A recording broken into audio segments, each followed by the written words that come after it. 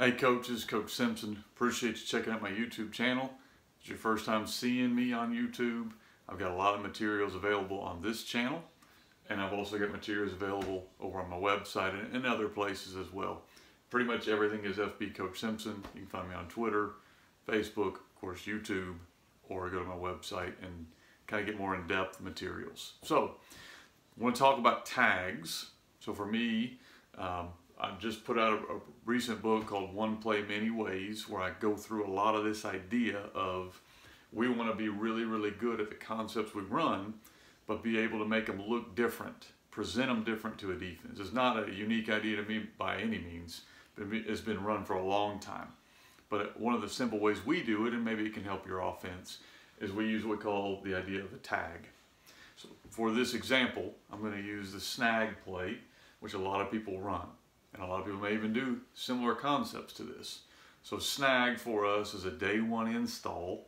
You know, we want to teach all of our kids the overarching concept. I think a lot of times as coaches, what we do is we stick our X's here and our A's here and whatever you've got there, and we just teach them their route. And then the quarterback knows the concept and, and you know the concept, but your receivers really don't. They don't really know what we're looking for and what we're trying to accomplish. Okay, I think it is important as you teach it that all of your players know not only their responsibility but the other route. As a quick side note to that, that means you have to be very limited in the amount of concepts you run. And so, and I think that's important because we're going to take this one play and again run it many ways. And that's where that whole book came from. Okay, so for instance, this is snag for us. Day one install, we're going to teach outside guy. He's running a simple curl or it could convert to kind of a moving um, slant if we get man coverage.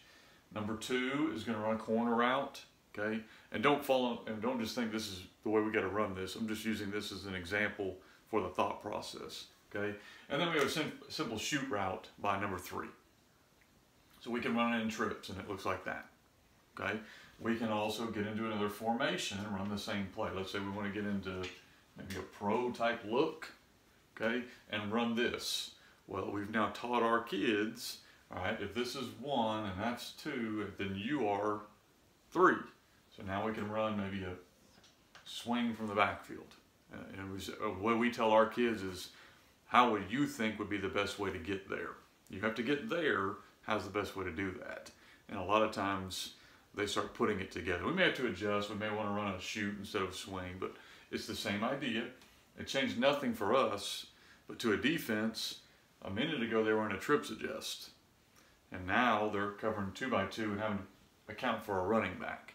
So that's a very different look to a defense. Not different to your quarterback. The read may not even change, but you're presenting it different to a defense just by tagging it different with, with a formation. Okay? We can do the same idea with a motion.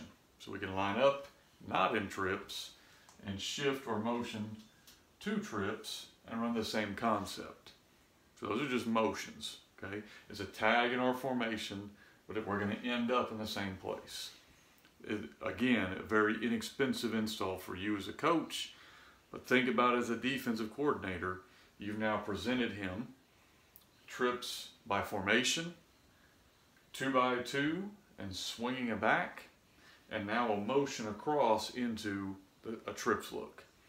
To a defense, he's now had to prepare for three different formations I know it's the same concept, but it's very difficult for a defense to prepare that way.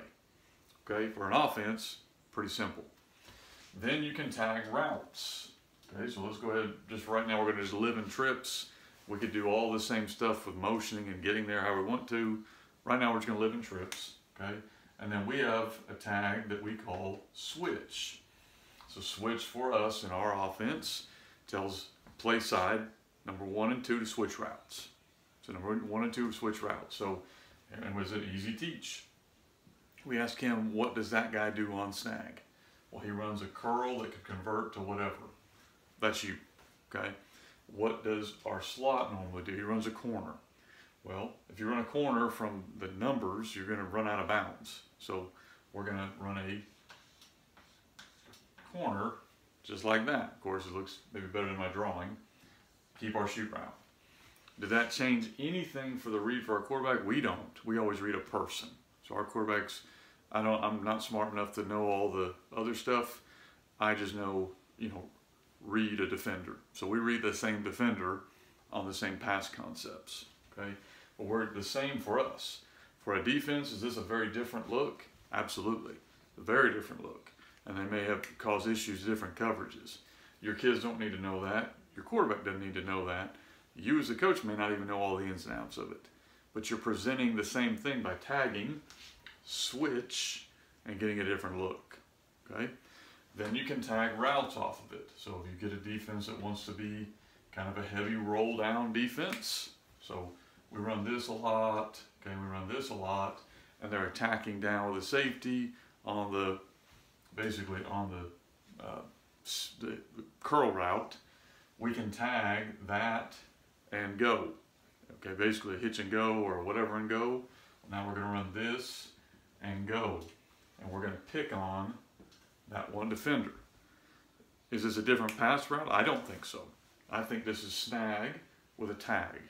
Okay, and it's just giving us the ability offensively to come in and run the same play many ways. Again, the whole idea of the book, one play, many ways, was this. We do this with every concept we run, which means we obviously are limited in how many concepts we run, but when we present it to a defense, it doesn't look that way because we're forcing you to prepare for all these tags, all these built-in answers, and then we start throwing the formations and the motions on it, and now you're really in trouble. So just wanted to give you kind of food for thought there on, on inserting tags potentially inside of your offense in the passing game. We do it in the running game as well. Okay, the ability to RPO, we do the same thing. You know, but for me, it's all about how can I make it hard on a defense and simple on an offense.